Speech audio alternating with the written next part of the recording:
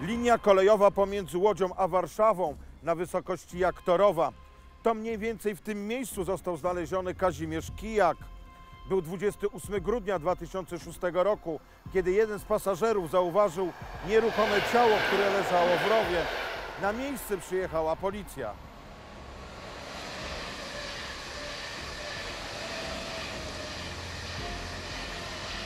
Mąż tutaj mieszkał z wami. Cały czas. Był przez kilka lat bezrobotny. Nie przez kilka, przez cztery lata nie. Był zarejestrowany w Urzędzie Pracy.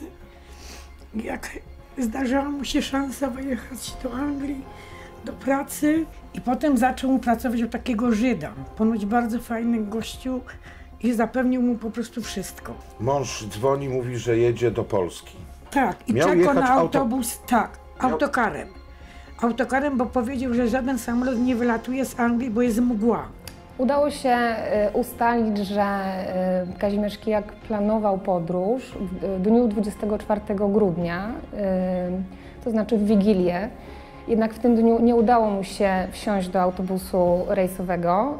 Nie został wpuszczony z uwagi na to, iż znajdował się pod wpływem alkoholu. Y, Taką informację uzyskaliśmy y, od y, operatora tych- linii autobusowych. E, Natomiast wiemy, iż w dniu 25 grudnia, czyli następnego dnia, był już w Łodzi. E, Ponieważ tego dnia na dworcu Łódź Fabryczna zakupił bilet kolejowy i miał przy sobie plan podróży właśnie e, do Katowic.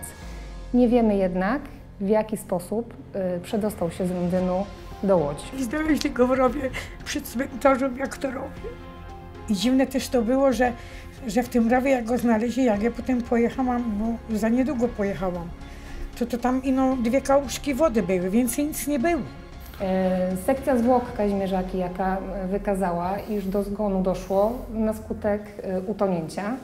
Jednocześnie nie stwierdzono, aby do jego zgonu e, przyczyniły się e, osoby trzecie, ponieważ na jego ciele no, nie było żadnych e, obrażeń, które wskazywałoby na takie okoliczności śmierci.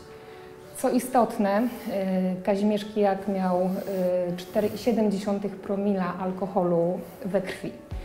Jednak nie ustalono w toku postępowania, e, w jaki sposób znalazł się e, na terenie gminy Jaktorów. I to mnie najbardziej zaskoczyło, wie pan co? Taka rzecz, że jego kolega, który mieszkali w tym mieszkaniu, on mieszkał koło tego Jaktorowa i oni razem jechali.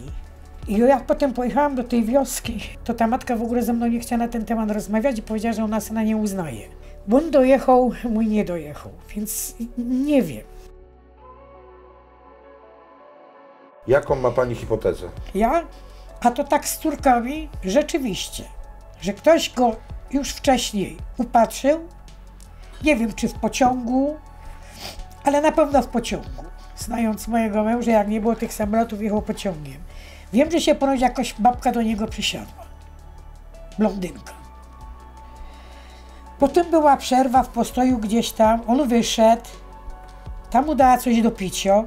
No a teraz można w szczykawce, w puszce, nie wiem w czymś, wszczyknąć wszystko co jest. A potem go ino wypchnąć z pociągu, jak jechał i znalazł się w rowie, tylko że dziwne to jest. Może któryś z pasażerów relacji Łódź-Warszawa zapamiętał pana Kazimierza. Przypomnę, że chodzi o wydarzenia z 24 i 25 grudnia 2006 roku. Bliscy zmarłego liczą na wszelkie informacje, które pozwolą wyjaśnić wszystkie okoliczności śmierci.